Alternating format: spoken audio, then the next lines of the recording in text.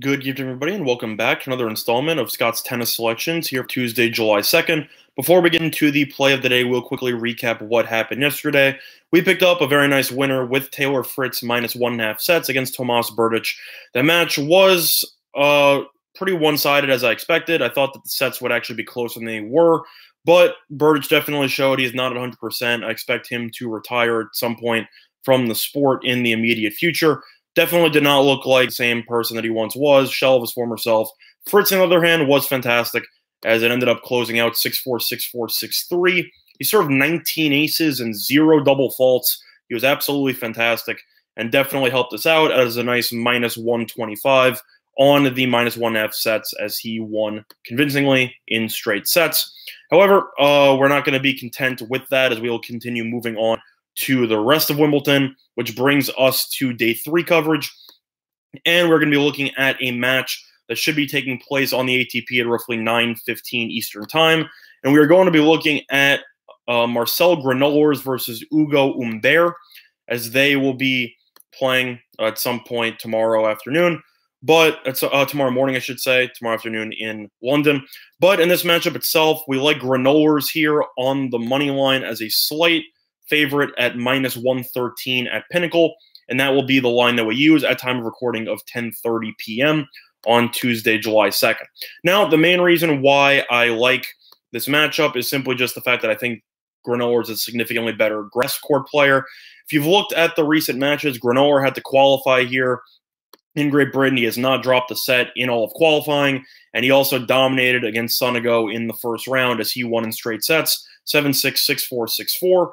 And I know that those sets look close, but Granollers also went four for 19 in breakpoint opportunities. So he was doing a great job of actually getting to Sonego's serve returning wise and was just unable to capitalize on a decent portion of those breakpoint chances. So he definitely has been seeing the ball really well as a returner, and he's also a pretty solid server in himself, and he has a very solid track record in Wimbledon in either previous seasons or this season in particular. Meanwhile, Humbert, as a youngster, he I'm impressed that he was able to win in the first round. However, it is worth mentioning that he got extremely lucky that he is here because of the fact that Gael Monfils ended up getting injured after the first two sets and ended up uh, retiring. So if you look at the matchup here, uh, Monfils won the first set 7 6, won the second set 6 3. Then he ended up losing the next two sets to Humbert 6 4, 7 5. And then he was down 3 0 in the fifth and he retired. Monfils started dealing with ankle issues at some point in the third and fourth set. So Humbert probably wouldn't even be here if Monfils did not get injured in the first place. So for that reason, I simply like Granollers here. Humbert is a pretty solid server, not great by any means. If you look at the stats against Monfils, eight aces and nine double faults. He did win 70% of his first serve points, but Overall, he only won 53% of his second serve points. I think Granoller is the better player. I simply think that minus 113 is too low. I think Granoller should be roughly minus 125. So for pure value alone, we will be taking Granollers here at minus 113 on Pinnacle, and that will be the tennis play of the day. Actually, as I'm looking at this right now, it appears that some of the lines haven't updated.